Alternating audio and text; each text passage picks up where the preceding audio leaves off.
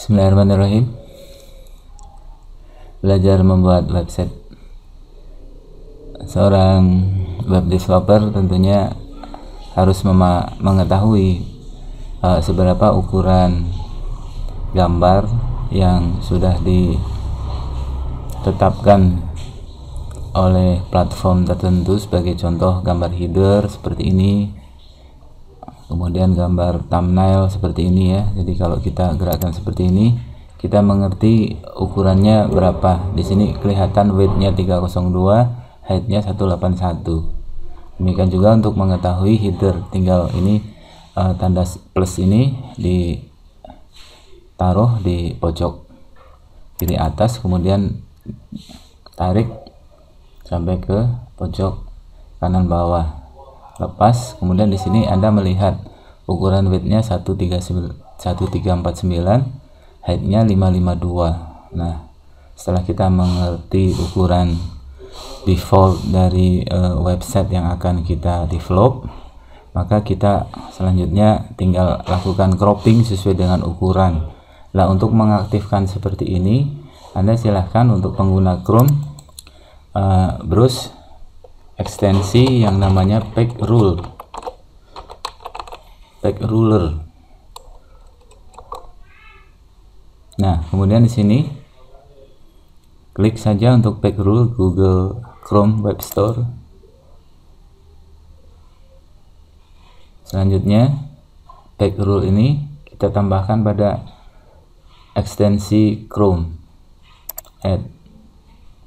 Tambahkan ekstensi Nah, selanjutnya akan muncul di sini pack rule sudah ditambahkan. Sehingga kita akan browsing sebagai contoh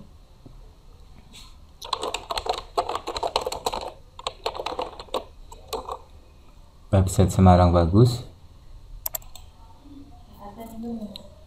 Kita akan melihat ukuran gambar sebagai contoh ini thumbnail ya saya akan menyiapkan thumbnail.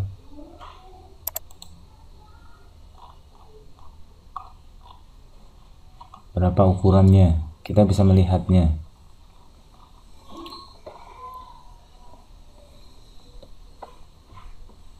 Kita klik ini. Kemudian gini kita masukkan. Nah seperti ini dari sini kita mengerti bahwa ukuran weightnya 289 kali 200 kita cari lagi.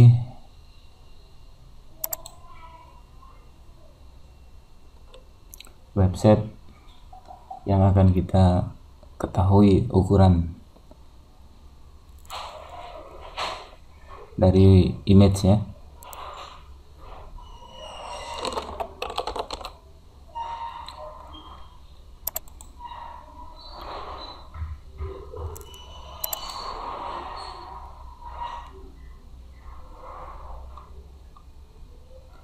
nah sebagai misal ini kembali kita aktifkan.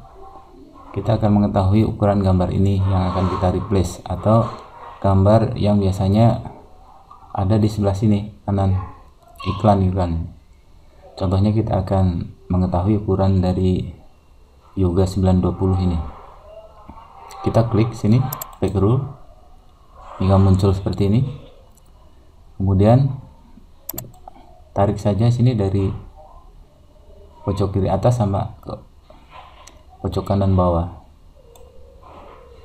Nah kita mengerti mengetahui di sini ukurannya adalah 301 kali 252 nah selanjutnya setelah kita mengetahui ukuran width dan height dari sebuah gambar tinggal kita lakukan cropping atau modify uh, create gambar baru sesuai dengan ukuran uh, dari frame yang sudah disediakan pada website Anda.